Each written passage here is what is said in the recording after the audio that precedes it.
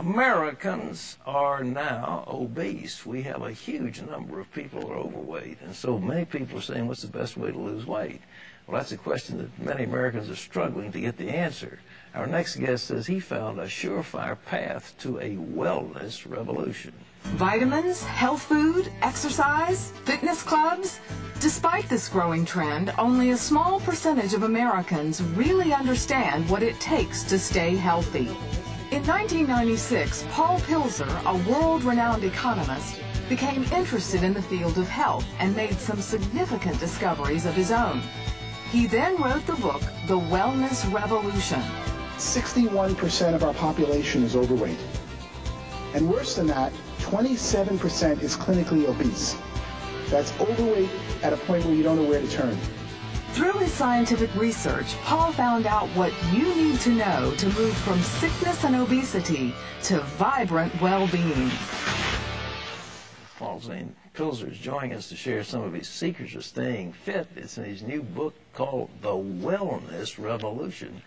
And there he is looking like Yul Brynner on the cover, just ready to start in The King and I. Paul, it's good to have you with us. It's great to be here. You are trained as an economist, an economic advisor on a couple of presidential administrations. What got you into wellness, fitness? Well, the same reason I became an economist. Growing up as a child of immigrants in the 1950s in Brooklyn, mm-hmm. everyone wanted to know about economic issues. Yeah. Although my education geared me towards science, I ended up going to Wharton and becoming a professor of economics because my family, my father, his uncles, that's what they wanted information about. They mm-hmm. wanted to know how to make a living.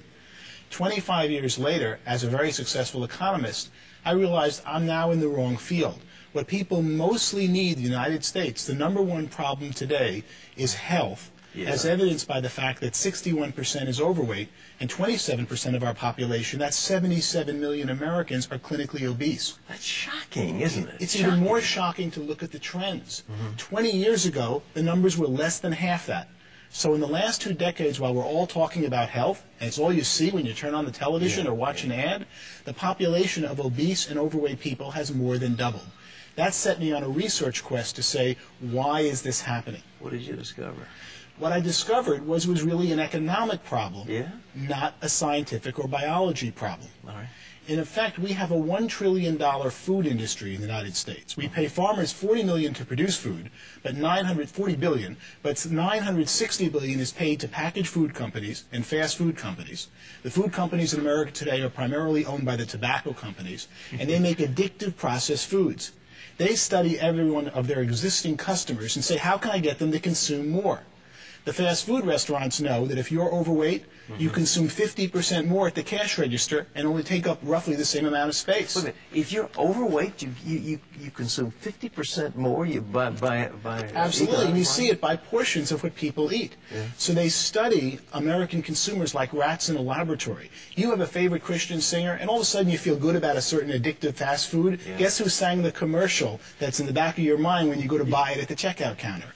They study Americans like rats to increase consumption of their food products, mm-hmm. and in doing so, have more than doubled obesity and overweight in the United States this is this is uh, unbelievable because we have a, a, health problem that's crowding one and a half trillion dollars. It's it's it's it's run away, and, and obesity is one of the major causative factors: heart disease, high blood pressure, so on. Everything, and really, most of our medical problems mm-hmm. today that are non-pediatric or non-geriatric stem from being overweight and obese. So as I studied it, I realized that the answer was an economic problem had yeah. caused being overweight and obese. As I studied it, I saw America ready for a revolution, a wellness revolution, mm-hmm. and that there was a new industry emerging called a wellness industry.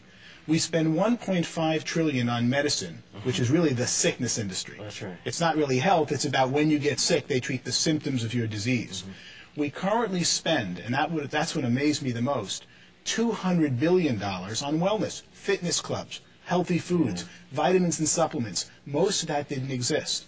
When I ran the numbers, I could see that the 200 billion wellness industry, which is primarily today upper class baby boomers who are consuming them. 1st mm-hmm. thing someone does when they make money is try to get healthy. Oh yeah. And yeah. they get out of the diet and type of medical care most of us get and they start getting healthier. And that this 200 billion I projected would grow to a 1 trillion dollar wellness industry by 2010. Well, look, are we finding ourselves on the one hand we're gorging on trans fatty acids and greasy hamburgers and greasy fries and carcinogenic products. On the other hand, we're out puffing away on treadmills and, and, and lifting weights. Uh, I mean, are, are, the, the same people doing these things, or is it a totally different class of people? it, it is really different people. Uh-huh. And so many people who do get on the treadmills are not getting the right information. The problem is that the food industry controls, in effect, our television. Look at most commercials today mm-hmm. for television shows are food companies. Sure. And they try to get their consumers to eat more and more of their existing foods. As the food industry focuses on those who are overweight, they make them more and more overweight. And then when someone says, I want to lose weight, I want to get healthy, they get misinformation out there because they've got this industry that controls our media that is constantly saying, How do I get you to eat more food? What should people do to, to lose weight? What, what are the tips? Well, I didn't write a book to come up with tips, but I came up with quite a few in doing my research. All right. The main one is really timing. Mm-hmm. From the time you're hungry, if you start eating food, your stomach doesn't tell your brain that you've now sated and had enough food mm-hmm. until 15 minutes have passed. So you can see why fast food restaurants are so deadly. Because you go in there hungry and you keep eating and eating and eating in less than 15 minutes, but it isn't until 15 minutes that your body knows you've had enough. When we used to eat with grandma and they took time between each course, Yeah. you naturally controlled the amount you eat because it took 15 minutes between courses and that told your body to stop eating. Oh. What supplements? People spending a lot of money on vitamin stuff. Is there anything that people should be looking for? Uh, the main thing they should be looking for is to see that their supplements are real. One third of the supplements that you purchase today in the store are not in the bottle what says on the label because supplements are an unregulated industry in this country.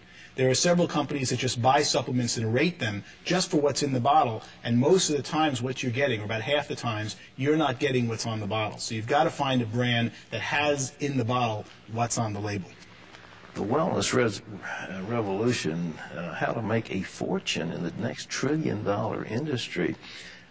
Where do people make money in this thing? Well, that's what I started to discover. I could see that there were 15 million Americans of 300 million were getting healthier as they aged. You're a great example about that, especially when we see you on television. Yeah. As you get older, you're stronger, mm-hmm. you're better fit. What's going on? It's people who have time to focus on it are seeking out the right products and services to make them healthy. And that's when I could see an emerging $1 trillion wellness industry one of the most surprising parts of my research was to find that it already reached $200 billion. But if you think of what you now spend on supplements, on fitness, on weight training, and time and money that you never dreamed you even needed 20 years ago. That's exactly right. You are a very typical consumer of this upper crust that's becoming and will become the entire nation, I believe, as this new wellness industry emerges. Well, boy, I hope you're right. But so, uh, ladies and gentlemen, uh, how you could A, be well, and B, make some money at the same time. this book, The Wellness Revolution, where you can get it is it's by Wiley Press. Is it available in bookstores? Should be in every bookstore around the country. bookstore. Paul Zane Pilzer, thank you so much for being with us. Thank you very much. It's a real honor. All right. Terry, what's next? Well, Pat, we want people to know we've also got a wonderful fact sheet that we'd like to send out to you absolutely free. It's called Make Your Body a Fat Burning Machine. Who wouldn't like to do that? This fact sheet will give you important information on how you can turn up the burn on fat in your body. You'll learn how to make food work for you and not against you. And you can get it by logging on to CBN.com or you can call us toll free at 1 800 716 FACT. But call now, it's yours for free.